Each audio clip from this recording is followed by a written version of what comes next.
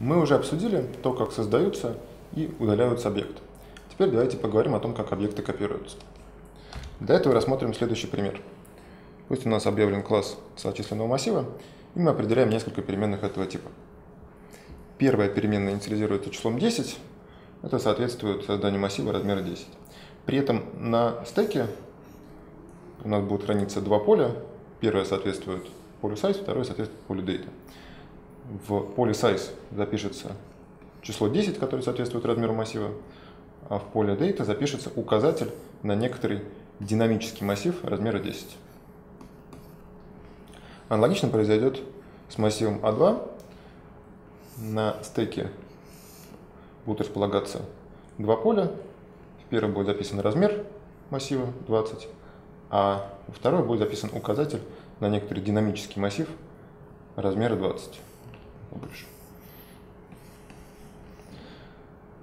Теперь, когда мы пытаемся создать третью переменную и проинициализировать ее не размером, а значением массива А1, при такой инициализации произойдет копирование. Копирование полей, которые соответствуют массиву А1. То есть на стеке разместятся также два поля. Первое будет содержать значение, которое соответствует размеру массива А1, то есть 10, а второе будет содержать указатель такой же, как хранится в массиве А1. То есть окажется, что у нас будет два объекта э, типа целочисленный массив, которые ссылаются на один и тот же динамический массив. В следующей строчке мы пытаемся присвоить объекту А2 значение объекта А1. При этом произойдет изменение значений полей, которые хранятся в объекте А2, то есть на месте числа 20 будет записано число 10, которое соответствует размеру массива А1, а вместо указателя на динамический массив размера 20 туда запишется указатель на динамический массив, который соответствует переменной А1, это массив размера 10. То есть этот указатель перечеркнется и теперь он будет указывать код сюда. Что мы получили? Мы получили, что